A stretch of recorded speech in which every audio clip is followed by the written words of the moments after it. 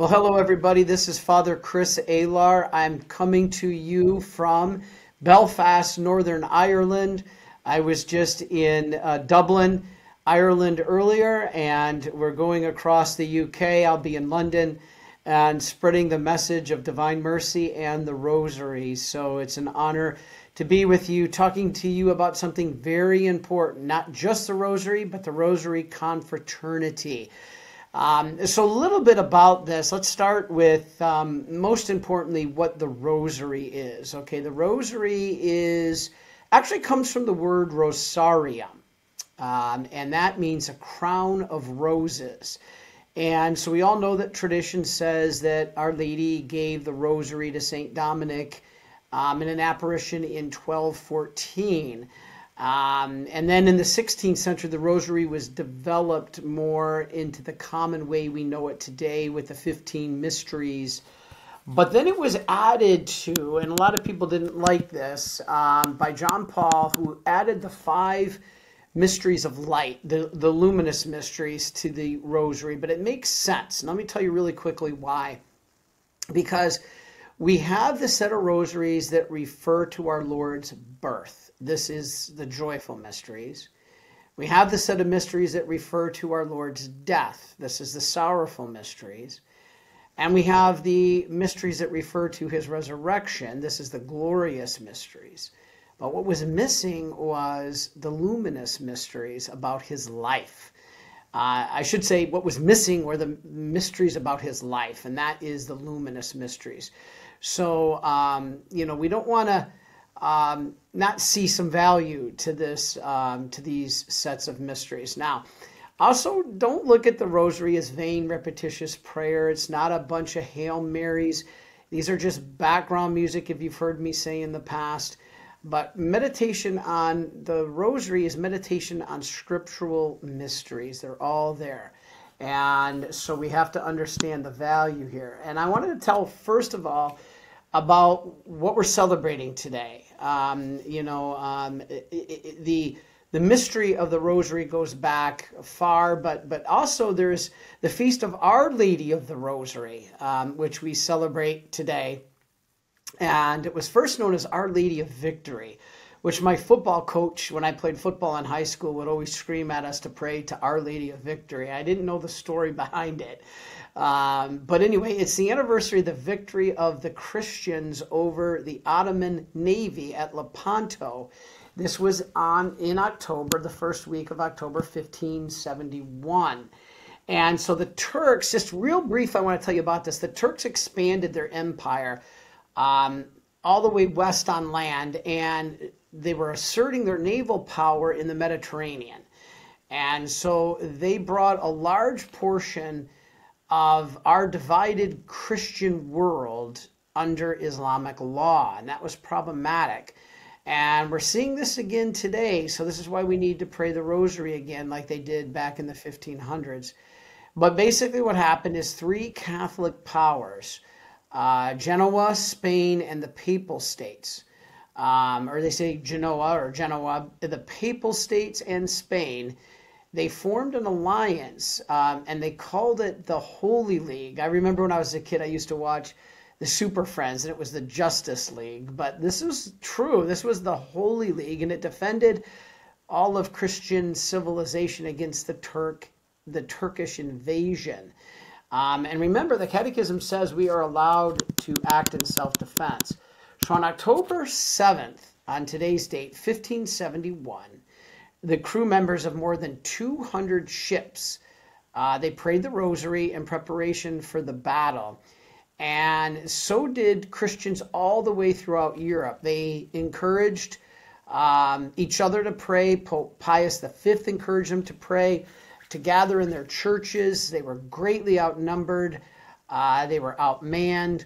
Um, only a miracle could really uh, save them.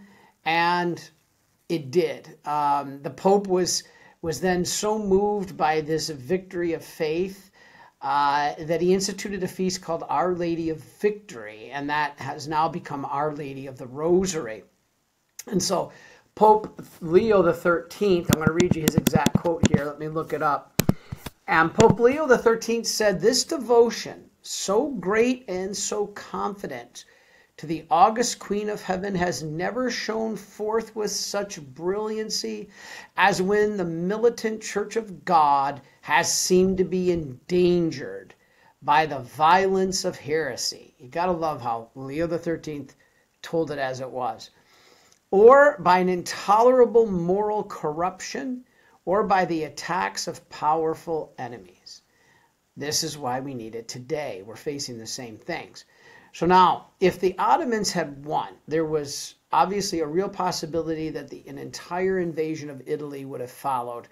Um, you know, that the Ottoman Sultan was already claiming to be emperor of the Romans, and it would have been total possession of Rome and an end of Christianity. So sometimes um, we got to fight. And uh, but our way to fight today is not picking up swords it's picking up the rosary.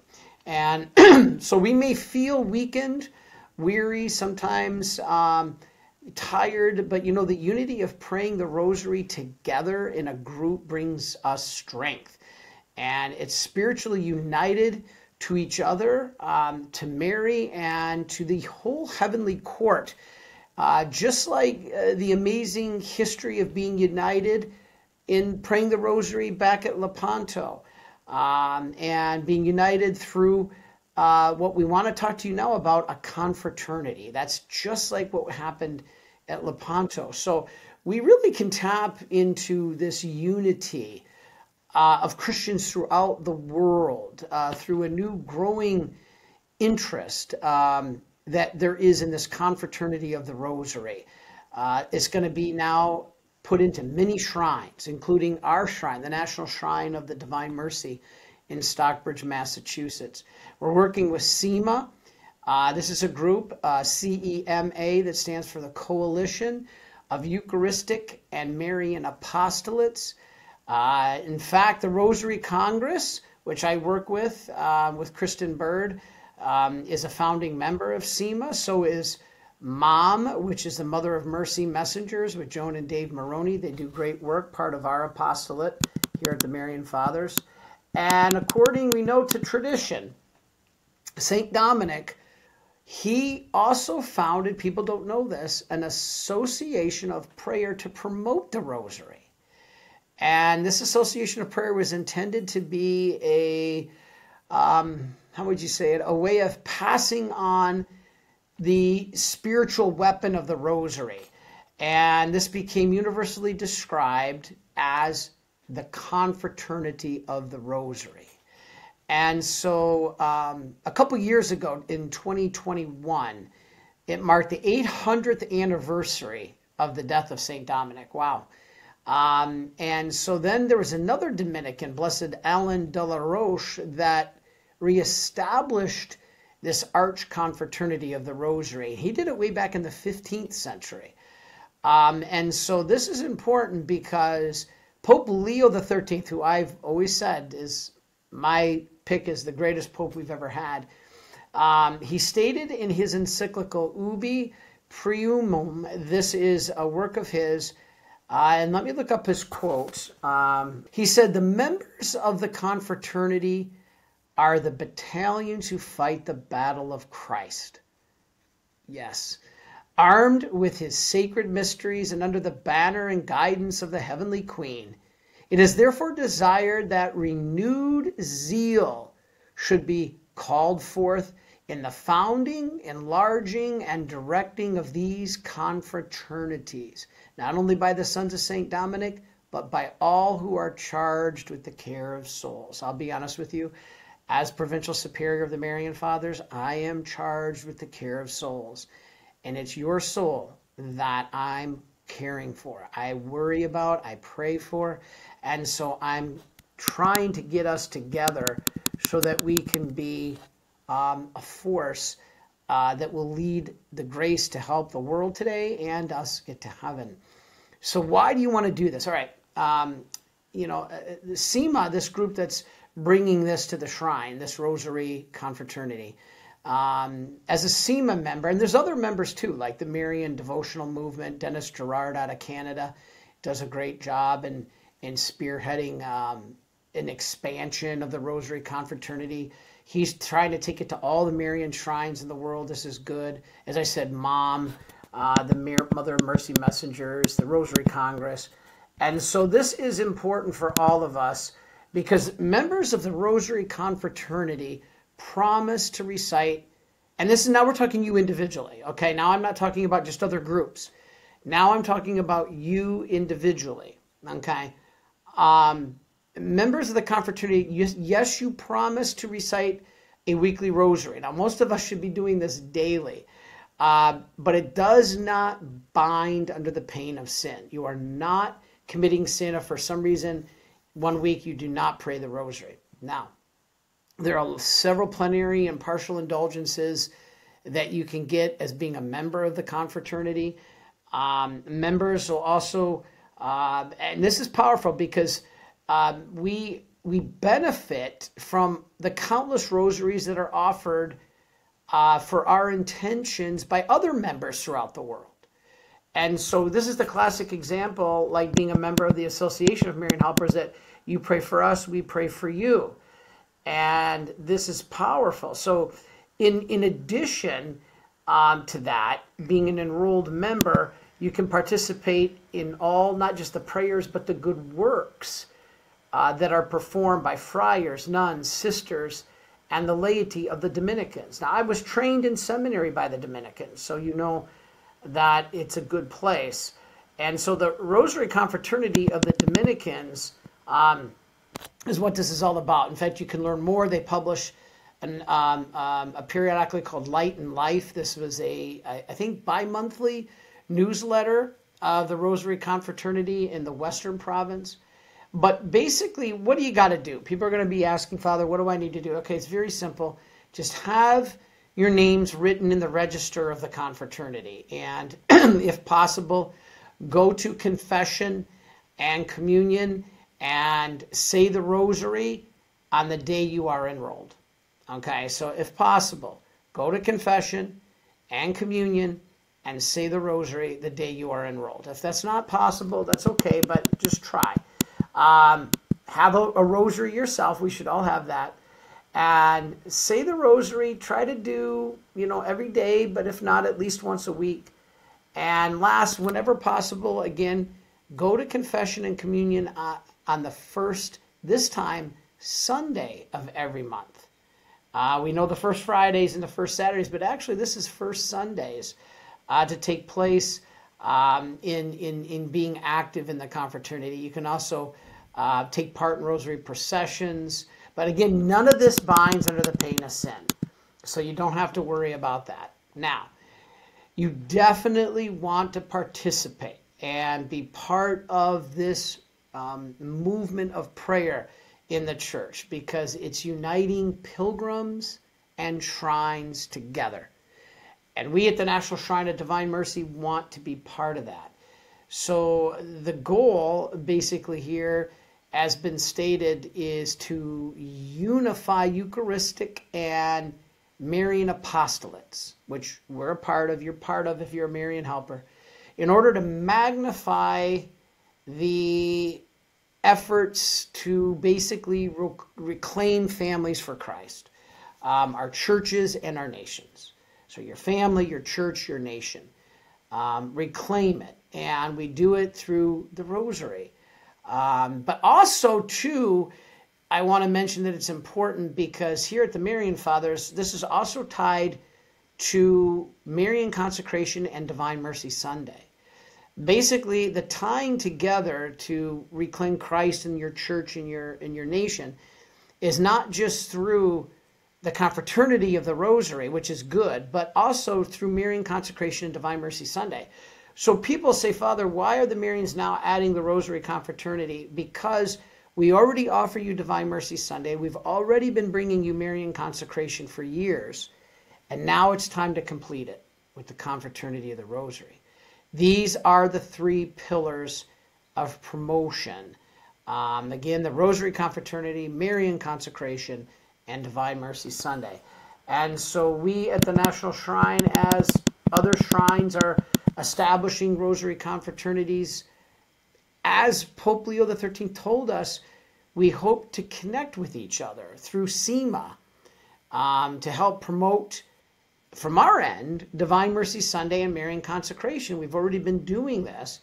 Uh, you know, the best way is True Devotion to Mary. Uh, but we've also done 33 Days of Morning Glory, and, and, and I've done talks on it, so God bless you. Um, and finally, to finish, the National Shrine of the Divine Mercy um, is uniting with these other shrines, as I said, to participate, to now renew this confraternity that's been around for centuries. Um, and again, I said a second ago, it's the goal is to unite pilgrims all around the world and shrines all around the world together for the salvation of souls by Our Lady's fa- favorite prayer, the Rosary. Now, don't you want to be a part of that, right? The uniting of the Rosary. So I finish with a couple quotes. So there's an encyclical um, of Pope Leo XIII com- uh, commending devotion to the Rosary, Laetitia Sanctae. And in it, I just want to read you a couple quotes because here's what Pope Leo XIII said. And let me read this. These advantages as we may readily conceive, will be secured in a higher and fuller measure by those who band themselves together in the sacred confraternity of the Rosary, and who are thus more than others united by a special and brotherly bond of devotion to the Most Holy Virgin. Notice he says, even more bonded to her. He goes on, they are, um, they are, are to speak, the battalions who fight the battle of Christ. I don't know about you, but that's me. Uh, and I want you to, to join us. Um, he goes on, armed with the sacred mysteries and under the banner and guidance of the heavenly queen. How faithfully her intercession is exercised in response to the prayers, processions, and solemnities. Um, and this is written in the whole experience of the church, not less than in the splendor of the victory of Lepanto. What he's saying here is this is as great as the victory of Lepanto. Amazing. All right, that was paragraph 16. Now let me read you just briefly from paragraph 17. He said, It is therefore to be desired and renewed zeal um, that we should be called forth in the founding, enlarging, and directing of these confraternities. And that's what we're trying to do here. And that not only be the sons of St. Dominic, uh, to whom, by virtue of their order, a leading part of the apostolate, but by all who are charged with the care of souls, as I mentioned earlier, and notable in these places in which the confraternity has yet not been canonically established.